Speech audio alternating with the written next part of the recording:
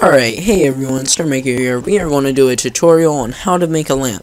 So this lamp's going to turn on when it becomes night, so none of the mobs spawn near your house. And on next video, I'm going to show you how to protect your house from mobs with a simple snowman.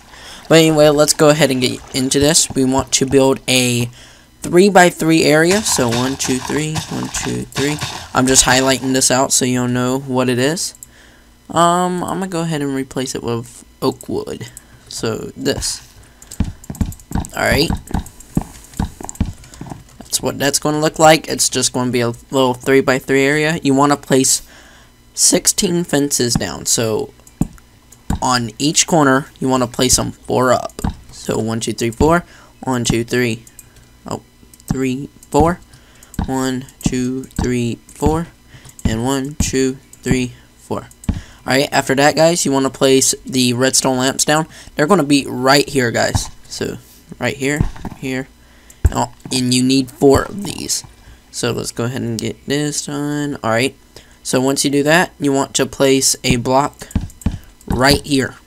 And you want to go under and put a sticky piston down from right here and put a redstone block under the sticky piston. So, it should look like this, guys and you can put wood around it to make it look nice like I do. And at the very top you want to put a daylight sensor. So put that there. And as you see it's coming night. We're going to give it a few.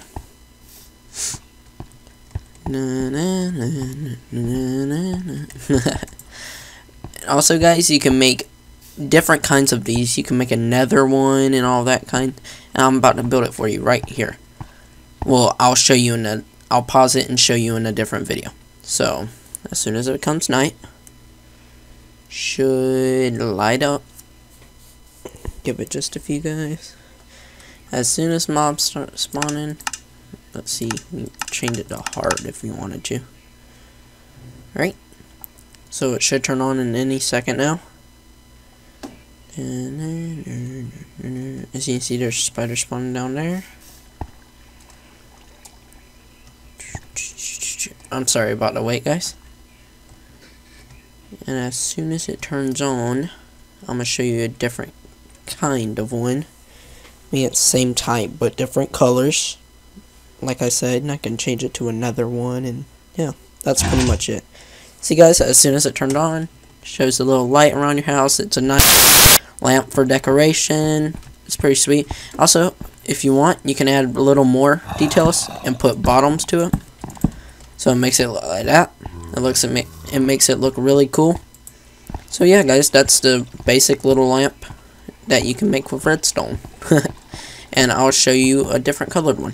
And hang on one sec. And this is what another one looks like. So yeah, guys, I will see you on the next tutorial on how to protect your house from monsters with a simple snowman.